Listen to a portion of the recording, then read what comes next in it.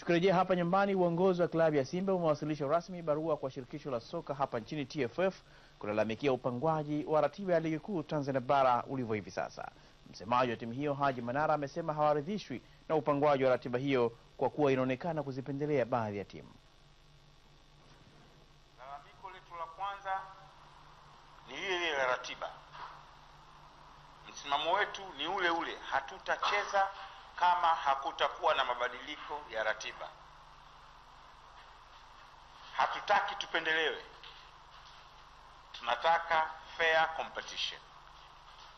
Hakuna mahali, hakuna ligi duniani timu moja na viporo vitatu vine na ninapolisema hili nasisitiza, tunatambua vile viporo vinavyotokana na mechi za uwakilishi wa kimataifa, tunatambua very clear, lakini haviwezi kuwa vitatu, haviwezi kuwa vinne, hakuna mahali hapa.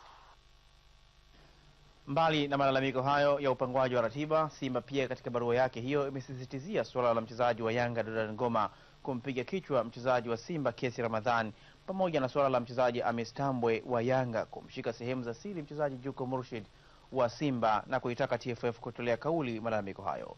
Katika msimamo wa ligi kuu Tanzania bara, timu ya Simba inaongoza ligi hiyo ikiwa na pointi 57 baada ya kucheza michezo 24 huku Yanga na Azam ikifuatia zikiwa na pointi ya ham- hamsini kila moja, ila zenyewe zimecheza michezo 21, kitu ambacho kinapingwa na timu ya Simba wakidai kitendo hicho kinazidiwa uh, kinazisaidia timu hizo mbili za Yanga na Simba katika mbio za kusaka ubingwa wa ligi kuu. Kamati